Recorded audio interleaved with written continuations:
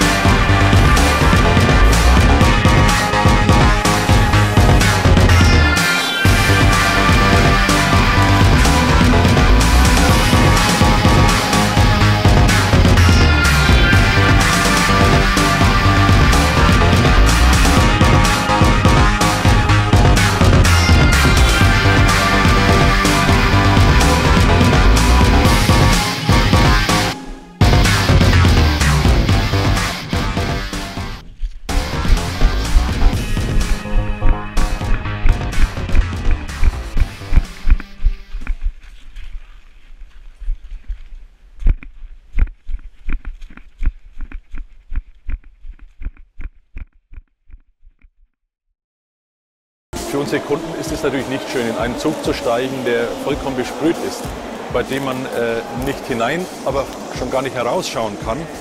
Äh, ein Zug soll sauber sein, der soll pünktlich sein, der soll warm sein im Winter. Äh, all das.